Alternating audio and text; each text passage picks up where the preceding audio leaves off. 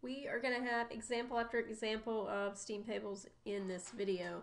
Hopefully you'll find it helpful and it'll help you understand how to choose which table, which conditions you're operating under. All right, let's get started. What we've got here is we're going to have water and in each of these cases we've got some properties given to us and we want to find the specified property. We're also going to locate our state on the TV diagram. Okay, so let's get started. Part A, we've got a temperature of 140 degrees Celsius and we've got 0.5. Okay, now looking at this, we don't really know anything about pressure here. We want to find pressure. So in order to find pressure, we got to figure out what's going on. So the way we're going to start this out is let's draw this diagram. So here's our TV diagram. Look like that. And now let's draw a constant pressure line like that. We know we are at 140. So what you're going to do is you're always going to start out going to those saturated water tables. So the table A2 and A3 that I showed you earlier. In this case, we've got temperature. So I'm going to use the temperature table. Okay. And the reason why we're going to start out with that is because we're going to compare our values to what we find in this table. So if we go to 140, here's the temperature. Look over here. The pressure has to be 3.613 and VF is going to be the 1.0797. You need to divide that by 1,000 and the specific volume at G is going to be 0.5089. So we need to label all of this stuff on our diagram. So let's go ahead and put all that on here. So if this is at 140, this point, that was VF. That was the 1.0797 times 10 to the negative 3. And then over here at VG, that value was 0.5089. And we know the pressure associated with this temperature is going to be the value that was in that table. So 3.613, and that's bar. So all of this information was obtained from that table using the 140 degrees Celsius. Now we have this specific volume of 0.5. So what we need to do is we need to figure out where we are at the temperature of 140 because we don't necessarily know that we're on this line yet okay? We could be up here or we could be down here. The way you're going to figure that out is you're going to take your V number that you're given and you're going to compare that to VF and VG right, so our V is 0.5 that lies in between these two values. Right so that means if it's 0.5 and this is 0.5089, we're pretty close over here. So that's where we're located. Okay. So since we are located here in the liquid vapor mixture at this temperature, that means we've got to be on this pressure line. So our pressure has to be 3.613. So that is our answer. All right. And again, let's write down, because we know that V is greater than VF, but less than VG, that we've got a liquid vapor mixture. If we found that our V was outside, like if it was greater than the 0.5089, we would need to switch to a different table. Okay, We would need to find some more information or if it was less than VF, we would need to find something else. Okay? But for that one, we got a liquid vapor mixture. Okay? And this, again, was from table A2 in the Moran book. Now, let's go to part B. So part B, we've got a pressure of 30 megapascals and we have a temperature of 100 degrees Celsius. We want to find specific volume. Okay. Now, what we're going to do is let's start out by drawing our dome. It look like this. Remember that's V, this is T. Now we've got a temperature of 100. Okay, and we've got this pressure of 30 megapascal. So let's label 100 right here. And now what I'm going to do is I'm going to go and look and see what my table says. Okay. So my table says that at a temperature of 100 for a liquid vapor mixture, I need a pressure of 1.014. All right. Now, he had already told me my pressure was 300 megapascal. So even in bar, if you were to put this in bar, that's 300 bar. Okay, so those two don't match up. So essentially what happens here is, remember your pressure is going to go up as we go this way. What we want to do is let's figure out what our max pressure is because 300 bar that was a lot higher than the number that we found in the table which was 1.014. So let's find the critical pressure and this will kind of give us an idea of where we are. So the critical pressure is going to be 220.9 bar and that temperature is 374.14 degrees Celsius. Those are from table A1, remember. Now, if this pressure at this point is 220 bar, then we're at 300 bar. That means our pressure is somewhere over in here. Because remember, your pressure increases as we go this way. So your isobars, as you move up and to the left, are going to increase. So if this is our pressure line, we want to find the intersection of the temperature where it's 100 and that pressure line. So we're right here. Okay. So this is to the left of the vapor dome. So this means we've got compressed liquid.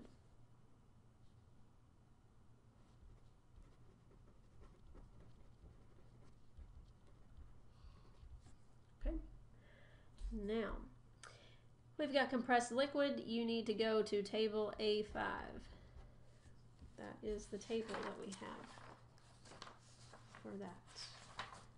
Great. And let me get to that table.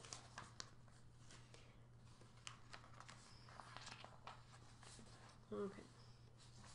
So here's A5. Now for this, we've got a temperature of 100 and a pressure of 300 bar. Okay, so here it is. So this is the compressed liquid table.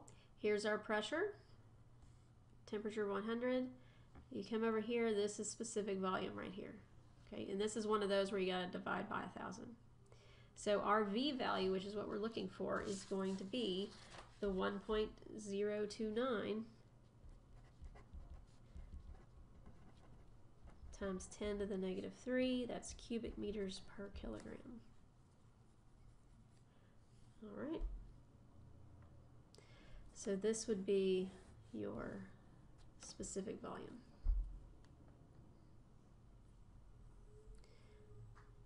So basically what you're doing is you're taking the information you're given and you're going to compare it. This is how I always do it. I always compare it to what's given in the liquid vapor table. And then from there, I can tell if I need to switch to a compressed liquid table or if I need to go to a superheated vapor table. All right, but I always start with that liquid vapor table first. Next, let's go to C.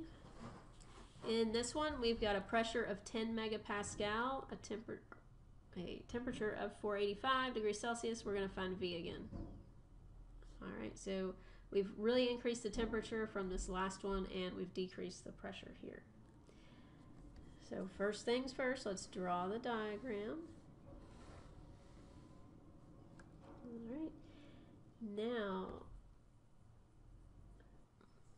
Okay, so to get started, let's look at our table. I'm going to use table A3, that is the pressure table. and it tells me I have a pressure of 10 megapascal. So let me draw a line representing the isobar for 10 megapascal. Now if we go to the table, 10 megapascal is 100 bar, so we need to convert over to bar. Here is 100 bar. Now this temperature, it says, is 311.1. Right, so those go together. So now if I look on this graph, remember this is temperature, this line right here is at 311.1 degrees Celsius. Okay, now I've got that. Now if you notice it says our temperature is 485.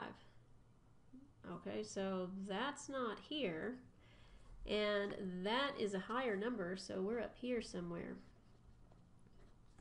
Now what I need to do is I need to find the intersection of this temperature and this pressure. So what you have to do is just basically draw a line over here. This is where it intersects right there. Okay. This is to the right of the vapor dome. So that means you've got superheated vapor. And now you'll go to that superheated vapor table to find the information you need to get specific volume. Okay. Now, that table is going to be table A4. So let me get table A4 out here. And for this one, you need to find the pressure that you've got. So here's the pressure we have. And our temperature is 485. Now let's look over here at our temperatures. We don't have a 485. We've got a 480 and a 520, but we do not have 485. So you're going to have to interpolate to get the values you want. Now you're going to pull out these values right here, and that's what you'll use for your interpolation.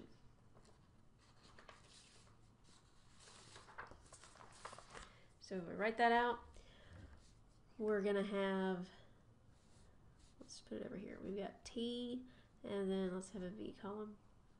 So we're going to have 480, and then we got 0 0.0316. And then at 520, we've got 0 0.03394. So these are our surrounding data points. These are what we're going to use to do our interpolation to get V. Now, to do the interpolation, you'll just have 0 0.03394 minus 0 0.0316. Put that over 520 minus 480. And then this next side on the right, you'll have V, that's our unknown, minus 0 0.0316 over 485 minus 480. Then we just solve for V here and V, you get 0.0319 cubic meters per kilogram. Okay. So again, we went ahead and we started with that liquid vapor table. We figured out what temperature went with this pressure. We noticed our temperature was a lot higher, so then you just look for the lines where they intersect.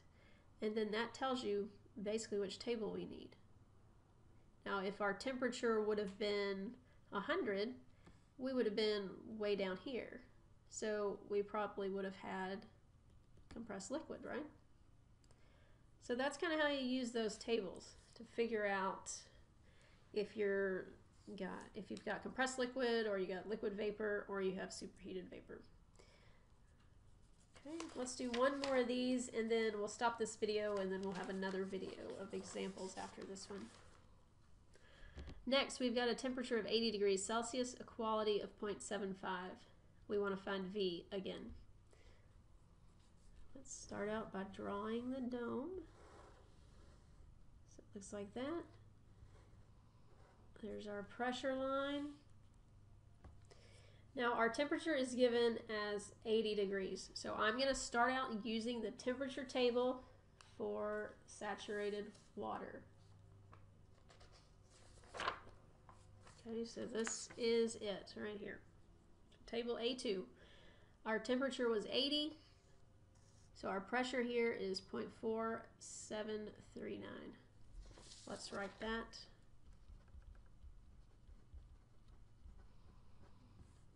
And this was 80 degrees, like that. Now we have that. Now we were given quality. Now just looking at quality, you should be able to tell what you got. Do you have compressed liquid, superheated vapor, or liquid vapor mixture? Can you figure it out? Now remember, quality tells you how much water vapor you have in your system. So if you're at 0.75, that means you're in here somewhere. Okay? So just due to the fact we were given this quality, we know we have a liquid vapor mixture.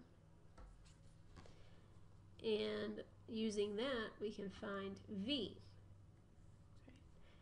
So again, just to re-emphasize it, at this point right here, x is 0. Over here, x is 1. And inside of here, you're going to be between 0 and 1. So we were between 0 and 1, so we know we've got a liquid vapor mixture. We want to find V, because we don't know what our V is. The table is going to give us VF and VG. That's what the table has in it, if we look at it. See, VF and VG. So we're going to pull out those data points, because we're going to need them. So we got the 1.0291, we need to divide that by 1,000, and then we got 3.407. Let's write those down. And let's put them over here. So VF is 1.0291 times 10 to the negative third. VG is 3.407. And those units are cubic meters per kilogram, like that. Okay, now we've got that. Now you got to remember how to use your quality to find V. We had an equation that we went over where we could use quality to find specific volume. So if we look at that, our equation was V equals VF plus X times VG minus VF. We've got quality, we've got VF and VG. So all we have to do is plug in those numbers. That will give us our specific volume at these conditions. Let's do that. So you get 1.0291 times 10 to the negative third plus 0.75 times 3.407 minus that 1.0291 number. You solve and you get a specific volume of 2.556 cubic meters per kilogram. That would be your answer. And if you want to locate your state on here, because we're supposed to do that, we're at 0.75. If this is at 1, we're kind of three-fourths of the way over. So I'm going to say we're right here, roughly. All right. Okay, hopefully that was a good start to our examples. We're going to have some more in the next video. And if you're still not sure how to do this, hopefully the next video will clear that up. Alright guys, you guys have a great day. I will see y'all later.